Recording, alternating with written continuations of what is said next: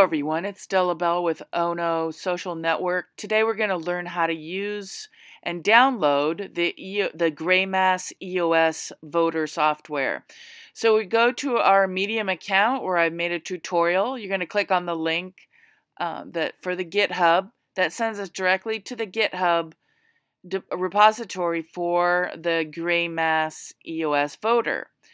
So now that you're here, you see that it's the current release and you're going to select the type of download for your operating system. For example, I have a Mac, so I'll be downloading the DMG file. Of course, if you have Windows, you'll be downloading the exe file. And let me go ahead and we're gonna I'm gonna select the DMG for downloading. Okay, and there it is. It's downloaded. I'm going to double click on the downloaded file. There we are. Okay, so now we're going to drag the EOS, that app, right directly into our applications folder. After that process, then we're going to go to app, our applications and double click on the EOS voter icon, and that will bring up the program. As you can see, okay, right now, this is the trickiest part. So it's it's asking to connect to an EOS node. Don't worry though, if you don't know what node to um, to connect to, you're going to click on this link right here. Click on the link, and it will take us directly to the GitHub where we can then copy and paste the node. So just wait till that comes up here. And where is it? There it is. Okay, so you're going to scroll down. Okay, there we are, EOS nodes, and you have a variety to select. You get to decide which node that you want to connect to. So, I mean, it's Greymass, so I guess we're going to go ahead and connect to the um, Greymass node. So I'm going to highlight that, and I'm going to copy copy it that um, that node address for Greymass, and then we're going to put it in there. We're going to copy it in there.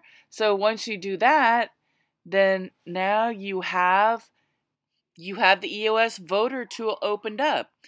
Now the first thing you're going to see there is your account name in that first box. Now, don't worry if you don't have your EOS account name because you can look it up. Do you see that little text up there? It says, Don't know your account name.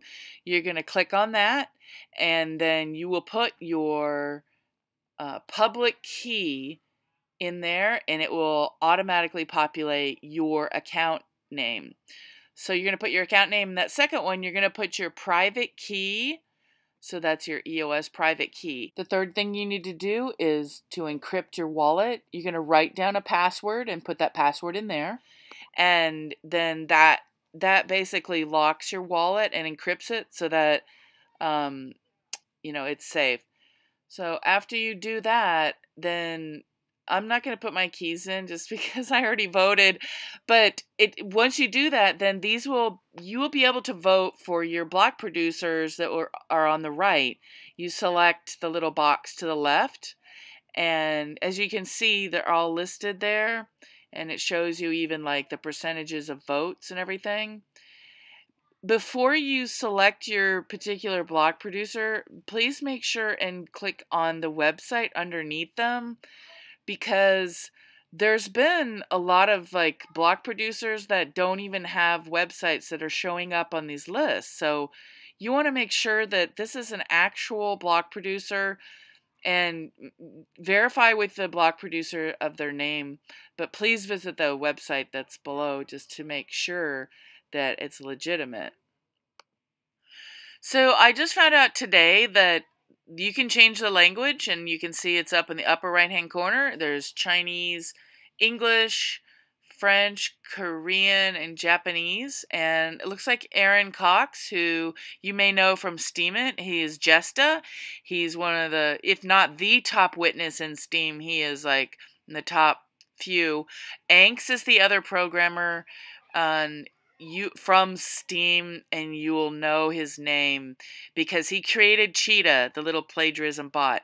So basically, they're adding languages like uh, uh, it seems like every day they've added a different a new language. So you need to if your language isn't in there you might want to check with them in their telegram channel. Um, also they do really good they've been very helpful in their own uh, Greymass telegram channel with tech support um, i even had it one issue and they helped resolve that so that telegram channel is a really good place to, to go for help now, I did hear that the security audit for Greymass, this tool, has not been done, but that either is in the process of being done or will be done um, shortly.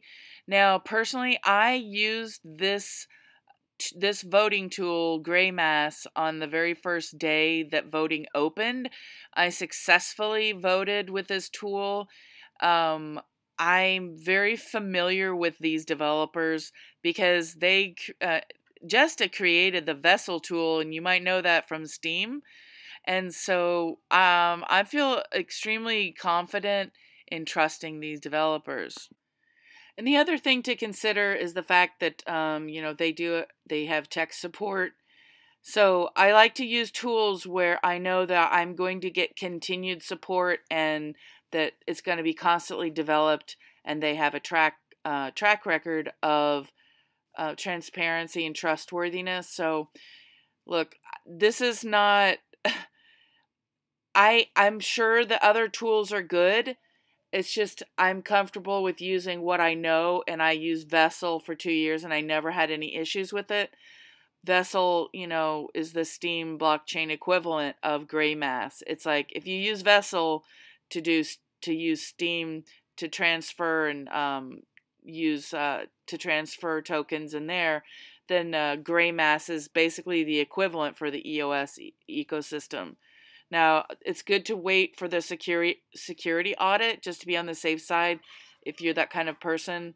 Um, but I definitely do recommend uh, this tool. All right, so that's it for this tutorial. Thank you for watching and good luck with your EOS voting. Goodbye.